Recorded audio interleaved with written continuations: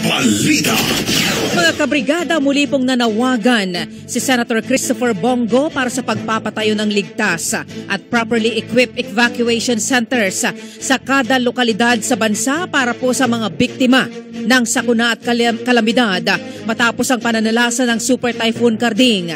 Ayon kay Go, panahon na para aksyonan ang kanyang proposal para sa pagbuo ng mandatory evacuation centers sa kada probinsya, lungsod at munisipalidad sa buong bansa na magsisilbi bilang temporary shelter para sa mga mawawalan ng tirahan.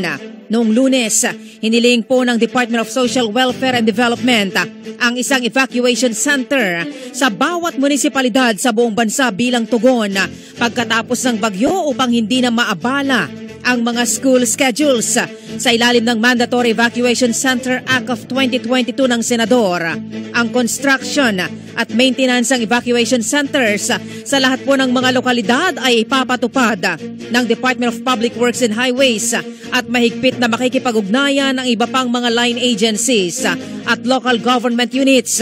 Ang proposed mandatory evacuation centers ay kailangang itayo na makakaya ang super typhoon sa wind speeds na 300 kilometers per hour at seismic activity na magnitude 8. Brigada Balita Nationwide.